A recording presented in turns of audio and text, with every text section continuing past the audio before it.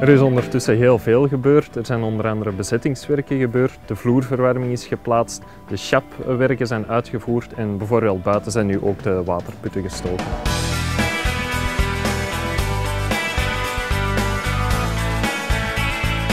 Echt grote problemen of fouten hebben we tijdens ons bouwproject niet gehad. Uh, natuurlijk gebeuren er hier en daar wel eens kleine foutjes, waaronder bijvoorbeeld uh, ons raampje van toilet buiten kent momenteel een rechthoekige vorm, terwijl het de bedoeling is dat het toch wel een ronde vorm heeft. Uh, we hebben dit gemeld en gecommuniceerd en dat wordt dan ook wel rechtgezet, dus dat is heel fijn.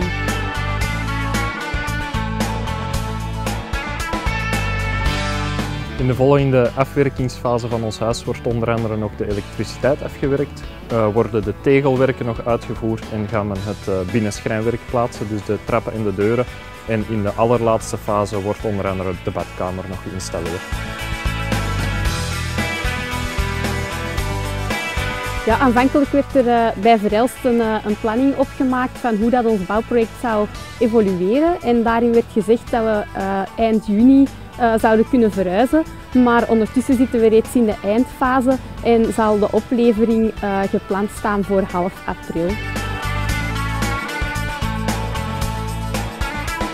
We voelen ons heel blij en positief bij de bouw van ons huis, zeker nu we het huis in zijn finale vorm zien. Uh, het is ook heel leuk om te kijken hoe de keuzes die we bijna een jaar geleden hebben gemaakt qua materialen, dat die nu mooi samenkomen in één geheel.